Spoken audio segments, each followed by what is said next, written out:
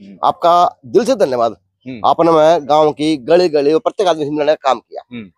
तो, तो जिस प्रकार ओरिजिनल रिपोर्ट तो आपका श्यामी आएगी जिस प्रकार का निचोड़ है हाँ। ये तो फिर चार सौ प्रकार का नारायण छेद जा सुंदर। जुमला से तो कुछ नहीं जनता नाराज़ है।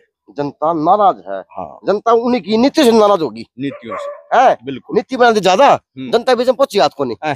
कुछ नहीं पूछा। इस बार वो नीतियों की वजह से कहीं ना कहीं अब की नाराज़गी होगी तो भाई सिस्टम ऐसा हो रहा है हाँ। चाहे कोई हज़ारों करोड़ के घोटाले कर दो हाँ। और बीजेपी की वॉशिंग मशीन में धुंधी है, साफ़ सुथरा हो जाए अच्छा। आपने देखे भी सही ये देश में। हाँ। तो ये तो गलत काम हो से और असलियत तो ये है हमारे संविधान को खतरा है।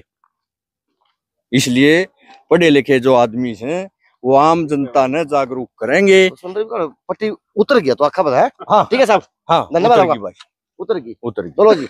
ये आदर्श गाँव है हाँ। और जगमग योजना के तहत ये गाँव है। हम्म। लेकिन किसी खंभे पर लाइट को लाग रही। और आदर्श है, फिरनी और आदर्श वर्ग कोई व्यवस्था इसमें दिखी को नहीं है। ठीक है? क्योंकि साफ़ सफ़ाई का महिलाओं ने आरोप भी लगाई और साफ़ सफ़ाई मैंने आपको रास्ते में दिखाने का काम भी किया। हम्म। तो डाणा नरसान की सर्वे थी। हमने प्रत्येक आदमी से बात करने की काम किया। लेकिन जी हम गाँव में जाते हैं तो एक दो आदमी से बात करना शुरू करते हैं तो वो हमारे साथ में प्यार में हो लेते हैं। जैसे सुंदर भाई साहब है कि इनका दिल से धन्यवाद कि इन्होंने पूरे गाँव का भ्रमण करवाया हम्म। और बिल्कुल निष्पक्षता से करवाया।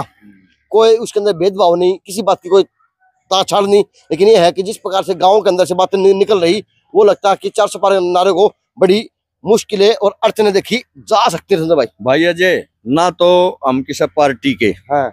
ना हमने किसी पार्टी तो लेना देना। हम्म। ओरिजिनल बात होगी वाकई ना रवा को कोनी। चलो जी अब की बार मोदी का चेहरे के बजाय विकास पे बात करके वोट देने का काम करेगा ग्रामीण धरा के ऊपर से।